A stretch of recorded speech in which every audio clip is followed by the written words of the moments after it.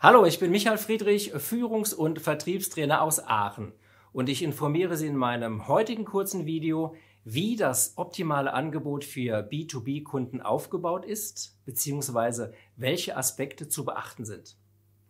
Schriftliche Angebote im Business-to-Business-Bereich umfassen oft viele Seiten.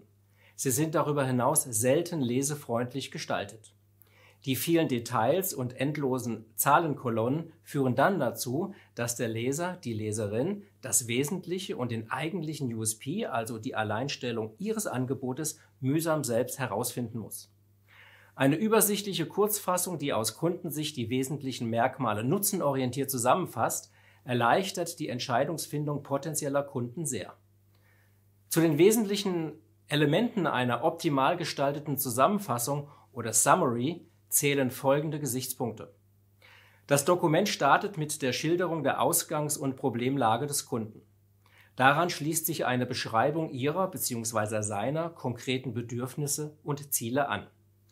Durch diese knapp und übersichtlich gehaltenen Textpassagen sieht der Kunde die Kundin auf einen Blick, ob sie die individuelle Situation in der ersten Informations- und Beratungsphase richtig verstanden haben.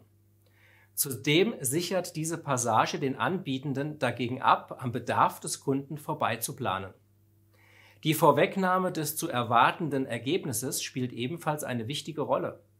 Eine Beschreibung, wie sich die Situation Ihres Kunden durch Ihr Produkt oder Ihre Dienstleistung positiv verändert, macht ihm ihr deutlich, welchen Nutzen er aus der vorgeschlagenen Lösung zieht. Hier helfen konkrete Zahlen, die den Verbesserungsgrad, die Zeit oder die Kostenersparnis messbar aufzeigen. Zum Beispiel, der Einsatz dieser Software spart Ihnen pro Buchungslauf drei Arbeitstage und reduziert Ihre Kosten für den externen Personaleinsatz um 15 Prozent.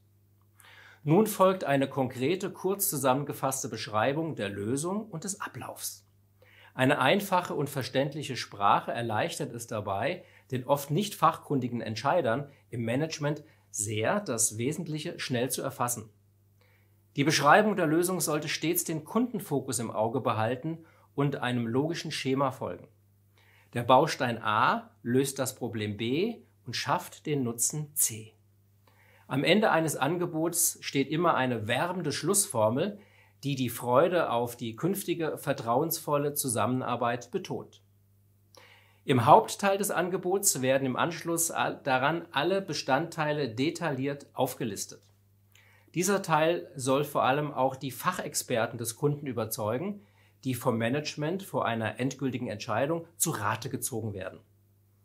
Dennoch ist es auch hier wichtig, sich genau zu überlegen, welche technischen Daten und Zusagen genannt werden. Es sollten nur Leistungen versprochen werden, die auch garantiert erfüll- und umsetzbar sind.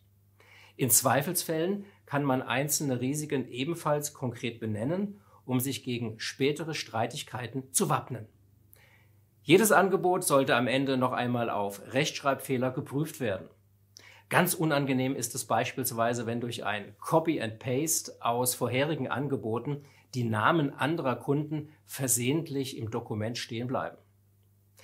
Deshalb ist eine gründliche Kontrolle eines Angebots Pflicht bevor es an den Interessenten, die Interessentin verschickt wird.